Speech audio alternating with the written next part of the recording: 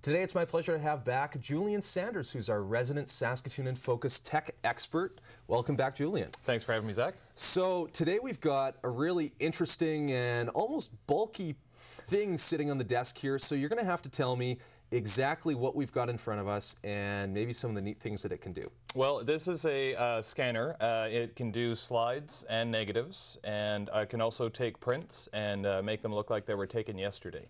So really the benefit on something like this, uh, you've got some old pieces of 35 millimeter film right there. Yeah, a lot of people have a shoebox full. So yeah, I know I've got stuff like that, and in the past when I've already had it printed, you know, sometimes things happen, you lose photos.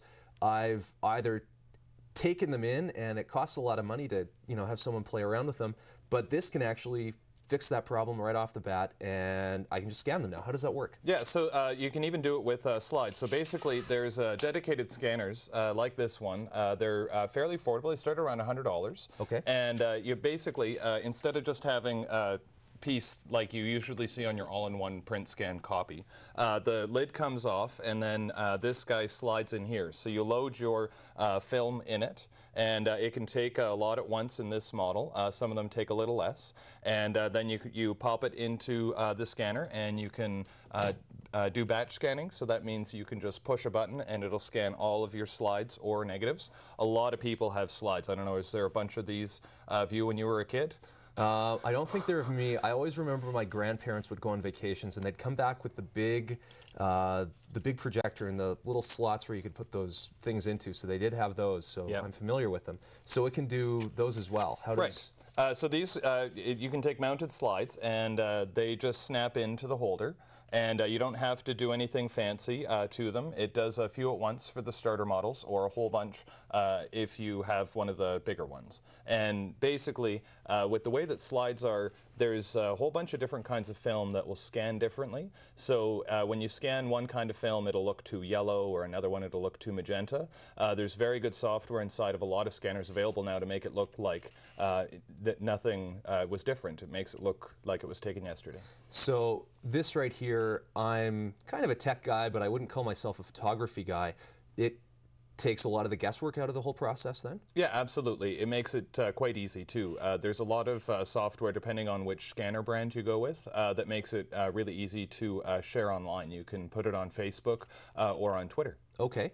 Uh, the other thing you mentioned actually it can even touch up photos and take out dust, take out imperfections, things like that, and that also just happens automatically? Yeah, it's actually a special technology. Uh, it's LED lights that scan the slider negative after the uh, first scan does, and it will uh, take the uh, imperfections. So if it's an older negative and uh, it's got a bunch of scratches on it, or maybe your scanner got dusty, it gets rid of it without uh, software guessing. So it's very precise and it works really, really well on uh, color slides and negatives. Okay, and you said that something like this is actually pretty affordable. It's not going to cost you an arm and a leg to uh, acquire something like that? You said they started at $100. How far up the line would they go for uh, This like guy, this? the one that I brought is about 600 uh, It takes a lot more at once, uh, but if just for 100 to $300, you can get a very good uh, one that ha has the retouching feature built in it and uh, uh, has all of the software too. A lot of them will give you a bundle of software, so you get really good photo editing software. Great. So, and if someone doesn't have time to do something like this, I know that you, really, you're right when you say some people have a shoebox. Sometimes it's a, a ginormous box. Yep. And uh, if someone doesn't have time to do that, is there another way that they can uh, get all this done? Yeah, you can bring it into a store. Uh, a lot of uh, the better labs will also retouch them for you. Uh, it's just a matter of how many you have. Uh, so if you need a few burnt onto a CD or DVD, it's a good idea to check with the local labs. So something that you mentioned that I wanted to talk more about was Twitter.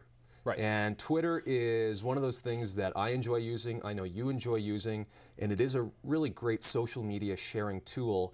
So for those people watching who maybe aren't engaged in that yet, haven't really looked into it, what's what is Twitter? What's the 20 second uh, pitch on that? Uh, well, it's a really good uh, short information um, medium. So basically, if you're familiar with Facebook, it's the status update portion, but it's open. You don't have to uh, accept people as friends. They can uh, follow what you say on Twitter, even if you don't follow them. So there's everybody from really big movie stars uh, to companies uh, on Twitter, and uh, there's people uh, talking back all the way down to the city of Saskatoon. There's the police are on there, and they will frequently tweet road conditions. So if they've closed a road due to weather, they put it on Twitter first, then you'll hear it about it on the radio. Okay, so we can see some of those local benefits to it. So, with you personally, um, you're on there, you're on Twitter, you're sharing things both about some uh, interesting things that you're doing uh, over at the store as well as uh, other things in your life. What what uh, what's the benefit of that, uh, other than you know? Some sometimes people say that this seems so silly to share the minute details of your life. What's what's the point? Uh, well, I like the uh, instant engagement because there's been a lot of times where I've had a conversation out of the blue with somebody and uh, gives you an opportunity to uh, to meet them. Uh, there's a lot of times where you can find somebody even locally with uh, hashtags, which is basically a search for your city. So you can find what's happening right now in our community, even in your neighborhood, and you can quickly and easily um, engage. You can make new friends and uh, interact with uh, politicians. Yes, we've definitely had lots of politicians on the program, and they are active on Twitter and engaging with their community that way.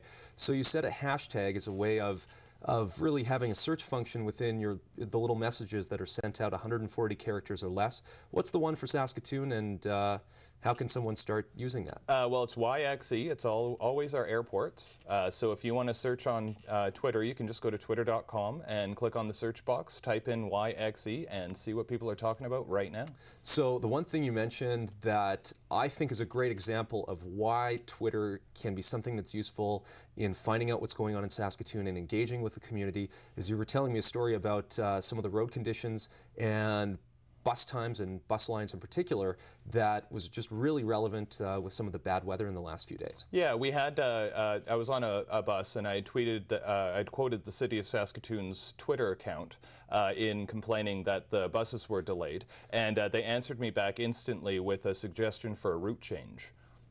Yeah, So it's kind of nice because it was an instant uh, feedback. and that's not something that can happen every day. So uh, I, I, you know, oftentimes you call up and you sit in line and uh, wait for wait to talk to someone. So Yep. so that's great. I, I mean, I've I've found that myself. I've chatted with people in Saskatoon and even found new guests to come on the show, and we're just uh, communicating with each other via Twitter. So it's uh, been an interesting way of keeping in touch. Yeah. Great. Well, really appreciate you coming in, talking about uh, the great scanning technology and ways of uh, sharing that with people, and as well Twitter and keeping in touch. So, thanks again for coming in, Julian. And if anyone wants to get in touch with you via Twitter, how can they do that? Uh, my Twitter is Saska Jules. S A S K A J U L E S. Great. So they can find you there and throw in the at sign, and they'll track you down. You got it. Wonderful. Thanks, Julian. Really appreciate it, and we'll have you back soon.